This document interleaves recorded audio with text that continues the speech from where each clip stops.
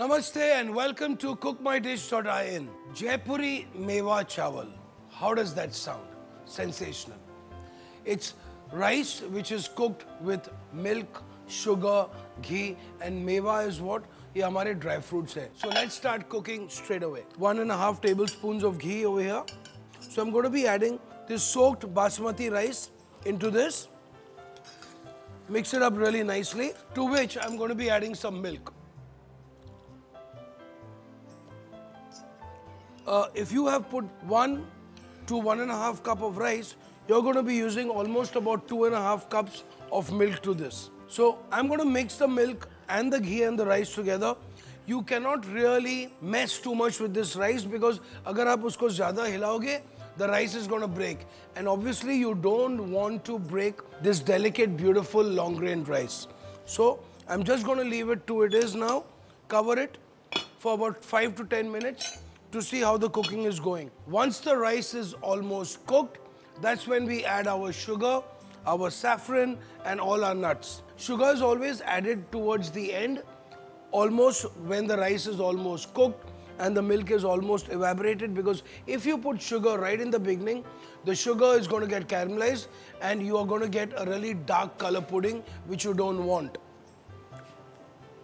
Now, the milk has almost reduced by half the rice is almost getting fluffy, it's getting cooked. Why don't we start seasoning it now? I have some nutmeg powder in this, some cardamom powder, elaichi ka powder, saffron milk. Give this a nice mix now. And then we finally put some sugar.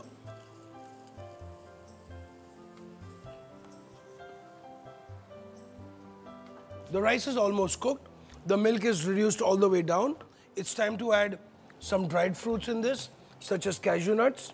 We're going to leave a little for the garnish as well. Uh, some nice blanched almonds. Uh, थोड़े बादाम है इसमें पिस्ता जो हमने slice किए हुए हैं और थोड़े किशमिश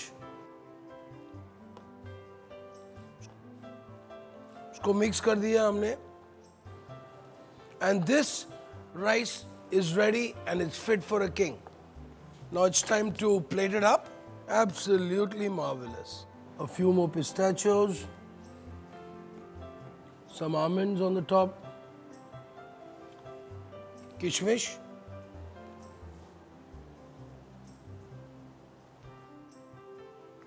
थोड़ी सी जावित्री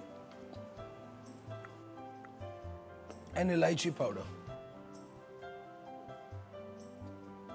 Sweet Jaipur Mewa Chawal. 2 cups of long grained white rice, 2 cups of sugar, 1 cup of ghee, half a cup of chironji, coarsely ground, 25 almonds blanched and chopped, 25 pistachios chopped, 1 teaspoon of cardamom powder, half a teaspoon of nutmeg powder, half a teaspoon of saffron soaked in milk, and 4 cups of milk. One and a half tablespoons of ghee over here. So I'm going to be adding this soaked basmati rice to which I'm going to be adding some milk. So I'm going to mix the milk and the ghee and the rice together. I'm just going to leave it to it is now.